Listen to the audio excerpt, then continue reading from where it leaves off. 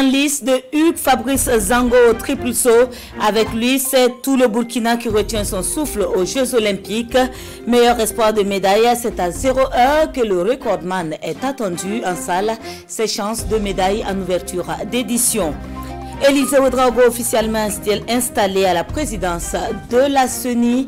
La prise de fonction est intervenue ce jour, moment de bilan pour son prédécesseur qui a passé cinq années à la tête de l'institution. Les temps forts de la cérémonie, c'est à suivre. Et puis la deuxième dose d'AstraZeneca est administrée depuis ce matin. La vaccination est lancée par le ministre de la Santé et c'est au CMA de Kosodo que l'appel est lancé à tous ceux qui ont reçu la première dose. Nous y serons dans ce journal. Et ce sont les titres du 20h de ce soir. Madame, Monsieur, bonsoir. Cette nuit, le triple sauteur burkinabé Hugues Fabrice Zango entrera en lice pour les phases finales de qualification du concours du triple saut. Annoncé comme l'un des grands favoris du concours, Hugues Fabrice Zango, recordman du monde du triple saut en salle, est très attendu. À quelques heures du début de l'épreuve, découvrons les chances de médaille de l'athlète burkinabé avec Jean-Modeste Ouetraogo. Le Burkina Faso peut légitimement rêver d'une médaille olympique aux Jeux de Tokyo. Le triple sauteur burkinabé Hugues Fabrice Zango représente une réelle chance de médaille. Il est très bien. Il est très bien, le boulot a été fait. Donc maintenant, il n'a plus qu'à se sortir des pièges des qualifications. Mais je pense qu'il est assez préparé pour, euh, pour pas que ce soit un problème. Pour réussir son entrée dans le concours, les entraînements seuls ne suffisent pas. Vigilance et concentration sont les maîtres mots. Les pièges, c'est de croire que la barre qui est à 17 m 05 est trop facile à, réaliser et euh, de faire n'importe quoi, de se perdre et finalement bah, de passer à côté. Ça arrive, même au meilleur. Donc c'est là qu'on a porté notre vigilance en tout cas pour ce championnat. Seule certitude, le Burkinabé est en pleine confiance et fait figure de favori dans l'épreuve de triple saut. Il a réalisé une très bonne saison. En jeu dernier, il a établi un nouveau record d'Afrique en plein air avec un bond à 17,82 m. La deuxième meilleure performance de l'année derrière le Portugais Pablo Pichardo. À 28 ans, Hugues Fabrizango est très ambitieux et entend écrire l'histoire du Burkina Faso aux Jeux Olympiques. Voilà, l'épreuve du triple saut est prévue pour cette nuit à 0 heure. Et la RTB sera au cœur de ce grand événement sous le coup de 23h45 avec euh, un plateau spécial. Nous souhaitons donc bon courage aux représentants burkinabés. Je vous le disais en titre, le nouveau président de la CENI est désormais installé dans ses fonctions. Élisée Outraogo remplace à ce poste Newton Ahmed Barry, qui a passé cinq années à la tête de l'institution. Moment de bilan pour le sortant et de prise de conscience des défis pour l'entrant. Ce temps est immortalisé par Jean-Eudes Bayala et Nyar Kiteda. Le revoir de Newton Ahmed Barry à la CENI, au commissaire et à l'ensemble du personnel administratif et technique de l'institution. C'est un président sortant satisfait du travail abattu en cinq ans. Cinq ans de réforme, cinq ans de consolidation de la démocratie, mais aussi et surtout cinq ans de tous les enjeux. Je laisse en héritage une CENI qui a maintenu et renforcé la tradition des élections où les vaincus vont féliciter le vainqueur.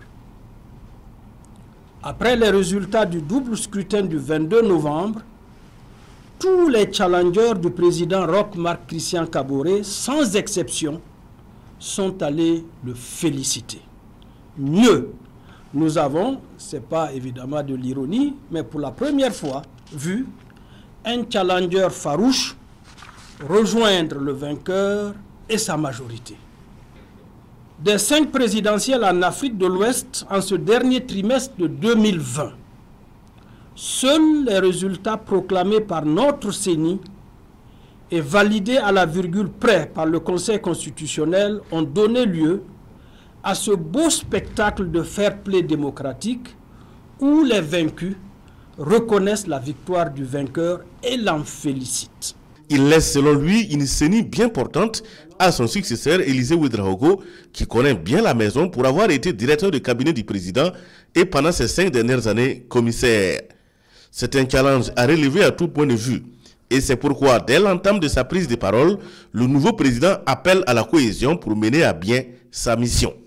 Nous ne voyons pas d'autre stratégie que de créer une dynamique interne en créant les conditions d'une cohésion entre nous, commissaires, entre nous, euh, entre commissaires et le personnel administratif et technique, et une cohésion au sein même du personnel.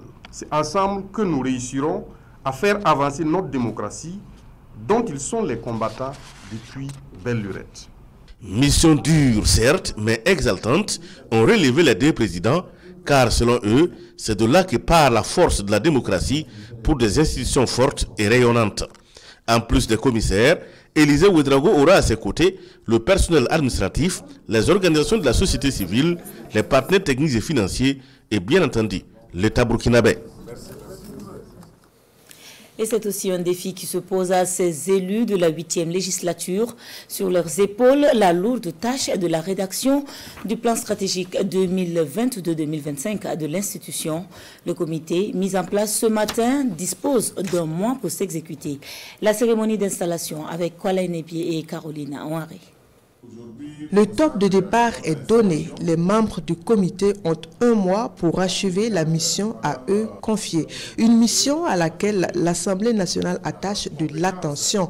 Le plan stratégique de l'Assemblée nationale est attendu pour guider sur les grandes orientations et le fonctionnement de l'institution parlementaire. Il vous souviendra que lors de la 7e législature, nous avons élaboré également un plan stratégique où nous avons eu euh, l'accompagnement des partenaires techniques et financiers. Il y a environ trois semaines de cela, nous avons organisé une rencontre avec les partenaires techniques et financiers où il était question d'évaluer ce plan stratégique.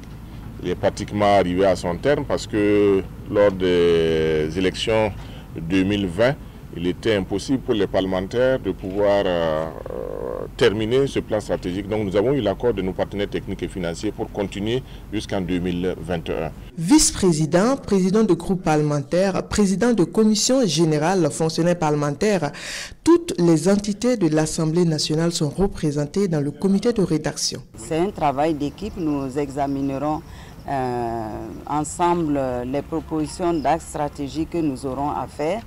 Mais d'ores et déjà, euh, sans me tromper, il, faut forcément euh, que ce soit pris en compte euh, au moins l'appui institutionnel comme axe. Il faut également que nous regardions du côté du renforcement des capacités. 2022-2025 est la période de couverture du nouveau plan stratégique de l'Assemblée nationale.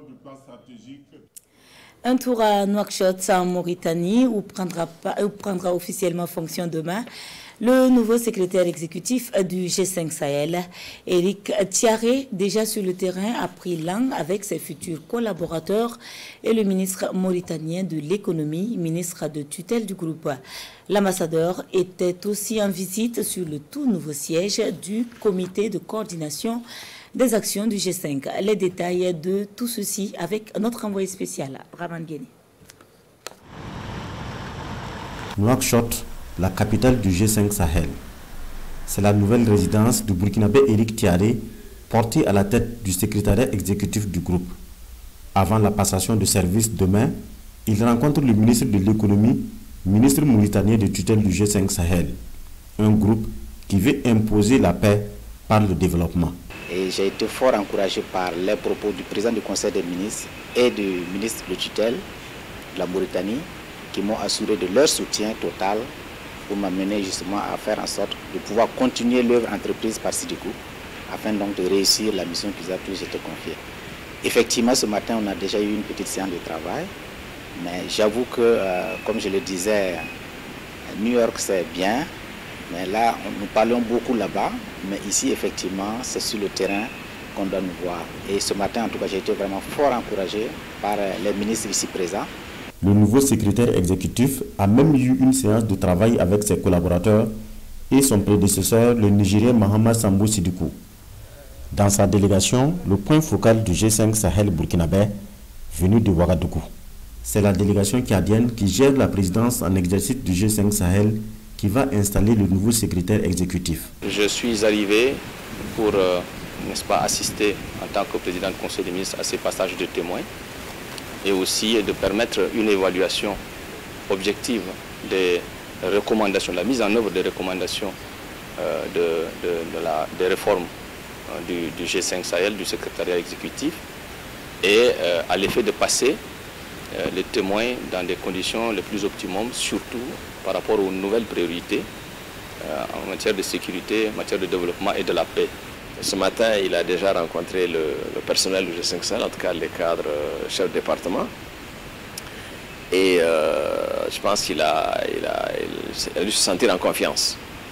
Il sait que c'est un outil sur lequel il peut compter. Il sait qu'il sera accompagné. Et maintenant, euh, les, ministres, les ministres de tutelle le lui ont rappelé, le lui ont dit également. Éric Thiaré a aussi visité le nouveau siège du Comité national de coordination du G5 Sahel, le point focal mauritanien. Avez-vous été candidat à la première dose d'AstraZeneca? Eh bien, la deuxième est disponible et administrée depuis ce matin. L'on en veut pour preuve le passage du ministre de la Santé himself. Et c'est depuis le CMA de Kosodo à Ouagadougou que le professeur Charlemagne Ouedraogo lance un appel à ceux qui se montrent encore hésitants. Appel recueilli par Vincent Kenrbego. Deux mois après sa première vaccination contre le Covid-19, le ministre de la Santé se présente à nouveau aux agents de santé. Professeur Charlemagne Ouedraogo reçoit sa deuxième dose du vaccin AstraZeneca. Une piqûre de rappel nécessaire pour une protection efficace contre le coronavirus.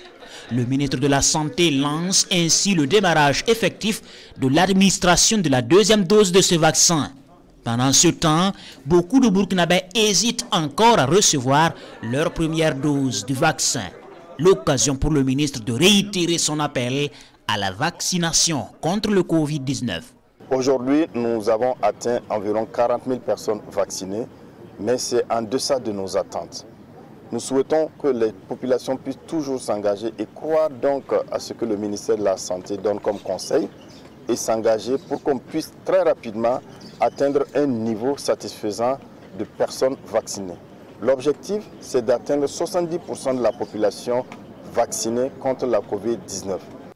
Après AstraZeneca, le gouvernement burkinabé a obtenu un stock de doses du vaccin Johnson Johnson et d'autres types de vaccins sont encore annoncés, selon le ministre, pour rendre le vaccin disponible au maximum des Burkinabés.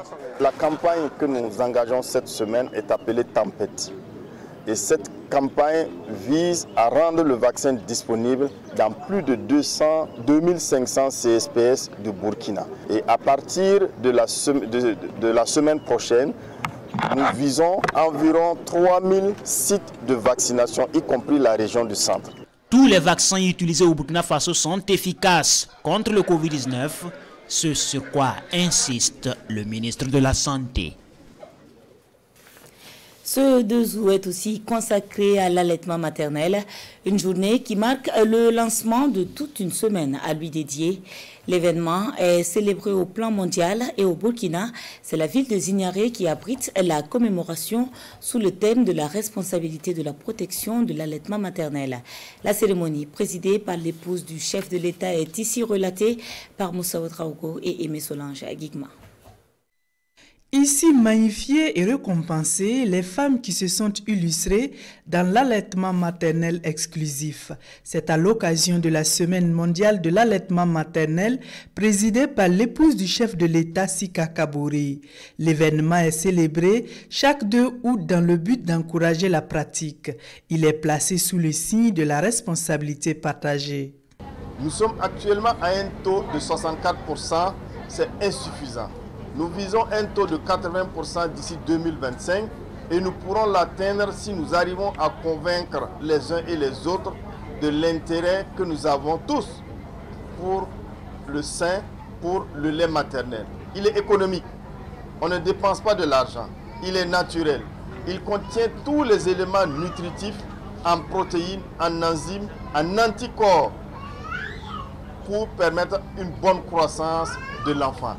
Cette cérémonie a également été marquée par l'installation des 13 champions régionaux en nutrition. Le parrain, le champion national en nutrition, compte s'appuyer sur eux pour plaider en faveur de l'allaitement maternel. Nous allons ensemble, avec ces champions régionaux-là, travailler à une meilleure sensibilisation une meilleure communication dans nos régions respectives pour euh, l'allaitement maternel. Et comme le ministre vient de le dire, l'allaitement maternel est une question qui règle en partie la prévalence de la malnutrition. Et donc en tant que champion de nutrition, nous devons travailler à renforcer cette alimentation de l'enfant au lait maternel. C'est une semaine instituée par le système des Nations Unies depuis 30 ans dans l'optique de sensibiliser la communauté internationale sur les bienfaits du lait maternel pour le nourrisson. Communication et cohésion sociale, quelle contribution du ministère de la Communication, un thème ô combien important par ce temps où la problématique de la réconciliation nationale est en question. Il est discuté à la faveur du premier conseil d'administration du département. À l'occasion, il sera fait un bilan à mi-parcours des objectifs prioritaires du ministère. L'ouverture des travaux avec Amadou Ilboudo et Monira Kiri. La vision du ministère de la Communication et des Relations avec le Parlement est connue. Communier pour le développement afin d'éliminer la pauvreté et améliorer la résilience des populations face aux crises sécuritaires et alimentaires. À cela s'ajoute cette autre ambition, celle qui consiste à défendre et promouvoir l'image du Burkina durement impactée par le terrorisme. Deux priorités, objets de réflexion à ce conseil d'administration. Il s'agit d'une part de faire en sorte que nous puissions euh, bâtir la communication au cours de, des défis autour d'un objectif de renforcer les capacités des populations, c'est-à-dire donner une fonction utile à la communication et pour faire en sorte que nos populations soient mieux outillées pour faire face à un certain nombre de défis. Il y a lieu donc effectivement aussi d'adresser des actions euh, à partir d'une stratégie bien élaborée pour faire en sorte que le Burkina Faso reste ce pays qui a toujours brillé, reste ce pays qui attire les investisseurs, reste ce pays qui attire les grands événements culturels. Les échanges sont surtout orientés sur la contribution du département à la promotion de la cohésion sociale, ce vivre ensemble mis à mal par endroits par l'hydre terroriste. Les actes terroristes, euh, l'insécurité a pu par moments donc euh, euh, jouer, sinon perturber notre légendaire vivre ensemble. Et les communicants, la communication, les journalistes, les médias demeurent donc un maillon important dans le rétablissement donc, de cette cohésion sociale. Donc au cours de ce CASEM, un débat va se mener pour voir comment notre département peut aussi donc contribuer au retour, sinon à la consolidation de la cohésion sociale. Un autre défi que se donne le département, travailler à renforcer la liberté de la presse au Burkina. Toutes ces ambitions sont soumises à réflexion au cours de cette session dont l'objectif premier consiste à examiner et adopter le rapport d'activité et financier du ministère de la Communication et des Relations avec le Parlement. Et pour justement maintenir le tissu social, plusieurs ONG s'impliquent à travers le projet de renforcement du dialogue social et religieux au sein des communautés. Leur stratégie est axée sur l'usage des mécanismes endogènes et institutionnels de dialogue. Leur cible, les communautés du Nord et du Centre-Nord. Les acteurs étaient en conclave à Ouagadougou pour un bilan de leurs actions, actions ici détaillées par Maxime Zongo. Dans une société marquée par la dégradation persistante de la situation sécuritaire aux multiples conséquences, quatre partenaires œuvrant dans l'humanitaire se sont donné la main afin d'apporter leur contribution à l'apaisement du climat social. Régions ciblées, le Nord et le Centre-Nord, et cela à travers le projet renforcement du dialogue social et religieux. UDICO est une organisation de développement humanitaire qui a un focus sur les enfants. Se rendre compte que ces enfants ne pouvaient pas accéder à l'école, n'étaient pas protégés eu égard à, la situation euh, sécuritaire et les difficultés euh, liées à la cohésion dans les communautés, nous a amené à initier ce projet-là avec d'autres organisations qui ont euh, plus ou moins la même vision que nous notamment Children Believe, le Centre diocésain de communication et l'association Tabital Global. Deux objectifs majeurs sont au centre de leur combat, le renforcement de la cohésion sociale et la promotion du dialogue interreligieux. Nous allons euh, vraiment capitaliser leurs résultats parce qu'ils parlent surtout des mécanismes endogènes de résolution des conflits. Je crois que c'est très important. C'est un départ pour que les jeunes même ne soient pas enrôlés, surtout qu'ils ne soient pas tentés de se faire enrôler pour ce que nous savons. Résultat attendu, les acteurs étatiques et politiques sensibilisés au dialogue social et religieux, la gouvernance administrative, judiciaire et politique améliorée. Les actions phares du projet, une campagne de sensibilisation à grande échelle à travers les médias, des débats publics, des plaidoyers et des formations. Pour les commissions de la CEDEAO et de l'UOMOA, il faut informer et sensibiliser les services de contrôle aux frontières et les acteurs du transport. Il s'agit surtout de mener des actions techniques sur les mécanismes de coordination pour assurer une gestion sécurisée du flux de personnes en prélude à l'ouverture des frontières. Un atelier est ouvert à cet effet depuis ce matin et ce jusqu'au 4 août prochain. Détail avec Amandine Lalsaga. Dans la perspective d'une réouverture des frontières terrestres, la CEDEAO, la Communauté économique des États de l'Afrique de l'Ouest et l'UOMOA, l'Union économique et monétaire ouest-africaine, forment ici les forces de défense et de sécurité en charge du contrôle des frontières. Les acteurs du transport et du commerce transfrontalier sur les corridors du Mali, de la Côte d'Ivoire, du Niger et du Burkina Faso participent également à cette rencontre. La perspective d'une ouverture, euh, ce n'est plus une option, c'est un impératif.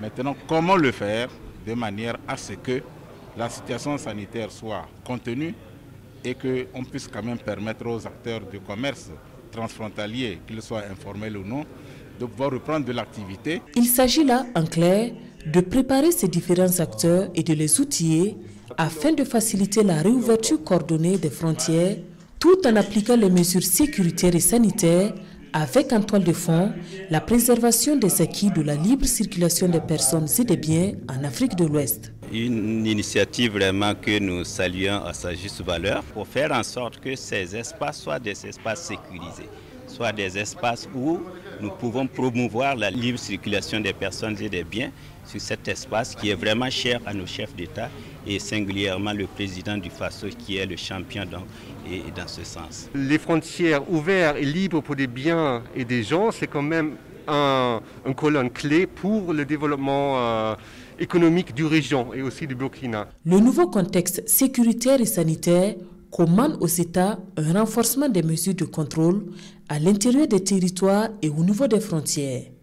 Et au terme de cette formation de 72 heures, les participants devraient maîtriser la nouvelle donne pour éviter une entrave à la libre circulation des personnes et des biens et par ricochet une flambée des prix à la consommation. Information également, le personnel de l'Agence nationale d'appui du développement des collectivités territoriales. Des formations centrées sur des thématiques comme la gestion électronique des archives. L'agence ambitionne ainsi renforcer ses actions en faveur du développement des collectivités. Césaire Carrefour et Momoni Soubeiga depuis la ville de Bobo-Dioulasso. Valoriser le capital humain à travers le renforcement des capacités du personnel, c'est un mot d'ordre lancé par la direction générale de l'ADCT, l'Agence nationale d'appui au développement des collectivités territoriales. Et c'est dans ce sens que l'agence a initié ici à Bobo Dioulasso deux sessions de formation au profit de deux catégories de son personnel. D'abord, euh, il y a une session de formation à l'endroit des chargés de projet, donc, qui porte sur euh, l'évaluation d'impact des projets et programmes de développement. parce que l'agence actuellement gère des projets et également appuie les collectivités territoriales sur le terrain et dans le sens de l'amélioration de leurs conditions de vie. La deuxième session a porté sur la gestion électronique des archives. une structure, pour être viable, doit avoir une mémoire. Pour le directeur général de l'Agence nationale d'appui au développement des collectivités territoriales, son institution attend des résultats du personnel. Pour cela, il place la formation au centre de ses priorités. Quand vous exigez la performance vis-à-vis des agents, il faut également que la formation suive. Ce n'est pas les connaissances académiques qui font de vous un bon agent.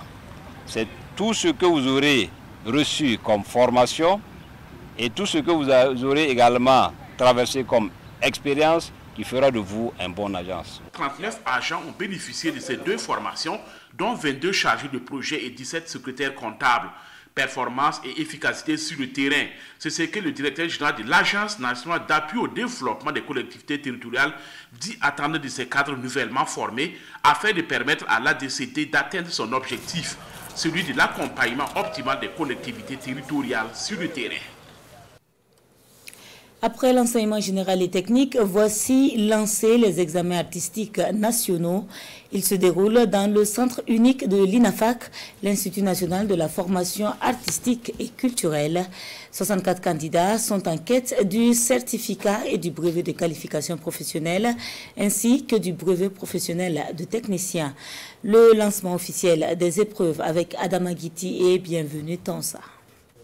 Des apprenants en fin de parcours en quête de diplôme professionnel dans le domaine de la musique ou des arts plastiques. C'est le top départ de la 7e édition des examens artistiques nationaux dans ce centre unique de l'Institut national de la formation artistique et culturelle INAFAC. Aujourd'hui, nous savons que euh, même si on est excellent dans son domaine, il faut quand même euh, un diplôme pour montrer qu'on est professionnel. La preuve, euh, le ministère vient de lancer les cartes professionnelles des artistes et la première condition pour avoir la carte, il faut être passé par une école de formation, donc avoir un diplôme. Et en plus de ça, maintenant, il faut avoir euh, un certain nombre d'années d'expérience. Les connaissances des candidats se mesurent en deux étapes. D'abord cette phase théorique, puis interviendra la pratique. Au nombre de 64, ils sont à la recherche du certificat ou du brevet de qualification professionnelle ou encore du brevet professionnel de technicien. En musique, on aura les concertos. Un concerto pour piano, un concerto pour saxo, pour batterie, pour euh, guitare, etc. Pour ce qui concerne les arts plastiques, ça veut dire que le candidat aura à exprimer son art à travers un tableau, une peinture qu'il va reproduire.